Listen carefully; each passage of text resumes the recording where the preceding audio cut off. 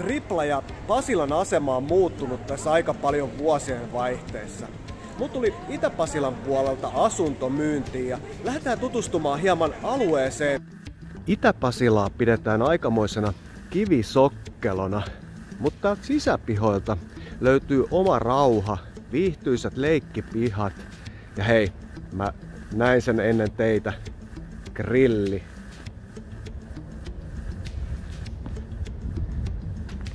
Tuli yksiö myynti ja mennään katsoa millainen yksiö on kyseessä.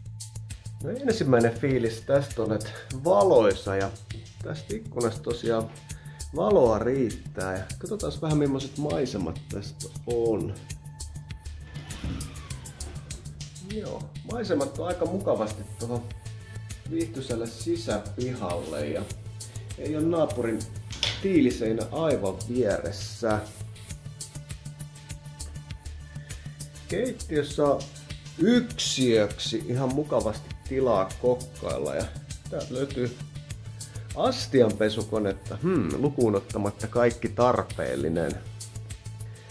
Keittiön pöytä mahtuu, tää on se tyypillinen kysymys. Tähän on mahtunut ihan viihtyisä tila viettää aikaa ja makuusopissa on tilaa sumremmallekin sängylle ja kaapit jakaa tämän tilan ihan mukavasti.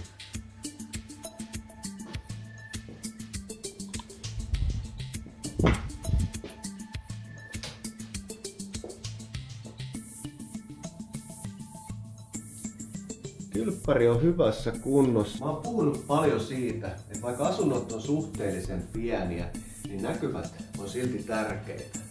Mun mielestä tässä on ihan kiva, että se vastapäinen tiiliseinä ei ole aivan vieressä. Irtaimistovarastot. Näitä moni kysyy nykypäivänä, että missä kunnossa irtaimistovarastot ja mun videoltahan ne löytyy. Joo, kyllä täältä Pasilastakin hienoja maisemia on. Voi sanoa, että taloyhtiöstä on merinäköala. Tästä siltaa pitkin kun ajellaan, niin saavutaankin jo Mäkelän rinteen uintikeskukselle. Tää on melkein mun kädelläni kiven heittämän päässä. Minä tunnen tän alueen. Tekis mieli sanoa. Mun faija oli duunistos T-kaupassa, missä nyt näyttää olevan Helsingin Islam keskus.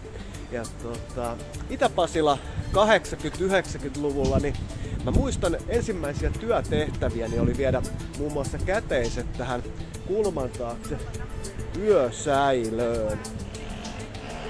Ja paljon on alueella muuttunut. Taustalle on tullut triplan tornit ja vanha Pasilan asema, minkä siirtoa olin muuten katsomassa, löytyy taustalta. Tässä katsomaan. Tää on nykyään Rauhan asema nimeltään. Tosiaan kaikille nykypäivän jonneille ja jannoille, niin Tripla ostoskeskuksena on varmasti tuttu, mutta tällainen oli Pasilan asema silloin kun mä olin Jonneiässä. Mutta jatketaan Itä-Pasilan tutkimista ja Itä-Pasilassa tosiaan hintataso huomattavasti alhaisempi kuin aivan vieressä olevissa Triplan uusissa asunnoissa.